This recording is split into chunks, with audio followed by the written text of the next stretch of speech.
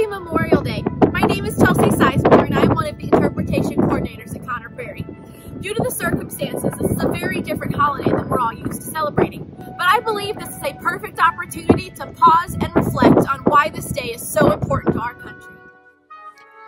In May of 1868, just three years after the end of the Civil War, Major General John Logan stated this was a time to decorate and honor the graves of the fallen Union soldiers with flowers. He declared Decoration Day to be on May 30th. The reason for this date was because most flowers would be in full bloom.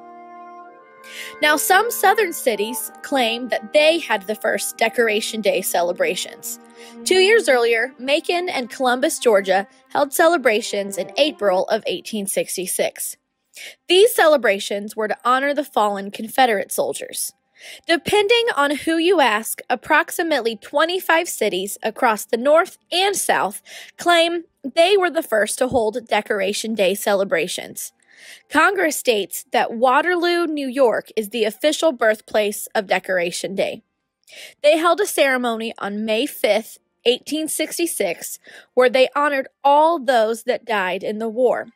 Businesses were closed and flags were lowered.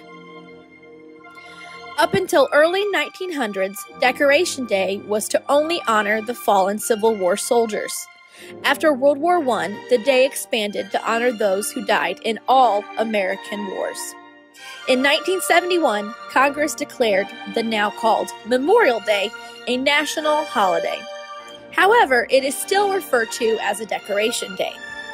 In 2000, Congress passed the National Moment of Remembrance Act, which means that every day on Memorial Day at 3 p.m., all citizens are encouraged to pause and remember all those that paid the ultimate sacrifice for our freedoms.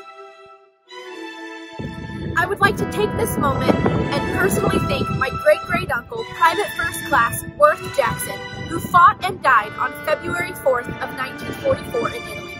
I would also like to take this moment and thank all those that paid the ultimate sacrifice for our freedoms. Happy Memorial Day, stay safe, and God bless.